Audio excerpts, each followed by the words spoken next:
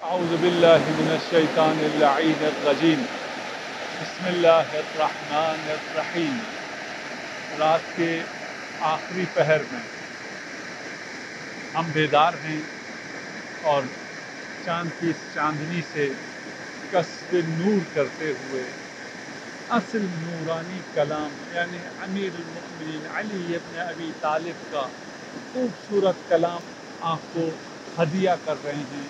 اس خوبصورت ہدیے کو ہر اس شخص تک پہنچائیے جسے آپ چاہتے ہیں، جس سے آپ پیار کرتے ہیں۔ امیر المؤمنین ارشاد فرماتے ہیں، لا سہرا بعد العشاء الاخرہ الا لاحد الرجلین۔ مسلم او مسافر۔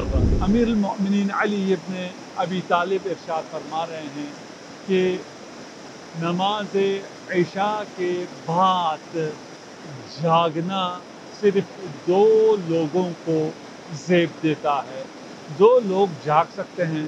اس کا مطلب یہ ہے کہ نماز عشاء کے بعد سونا چاہیے۔ رات کو جلدی سونا افضل ہے۔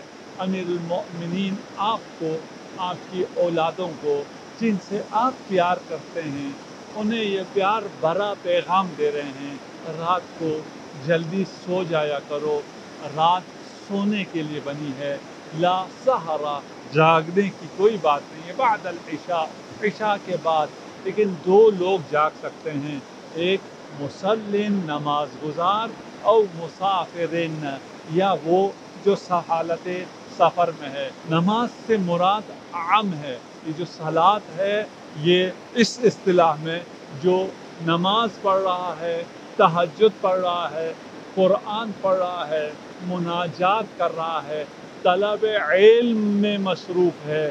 علم پڑھ رہا ہے، حدیث پڑھ رہا ہے، حدیث پہنچا رہا ہے۔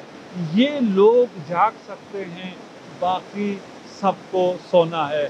رات کے اس آخری پہر میں آج ہم بیدار ہیں۔ اس آب زلال، آب رواں اور اس سرچشمہ آب جاری کے کنار اس رات میں سرچشمہ معرفت و ہدایت، کلام امیر المؤمنین سے یہ مختصر سا ہدیہ اپنے ناقص تشریح کے ساتھ آپ کے نظر کر رہا ہوں۔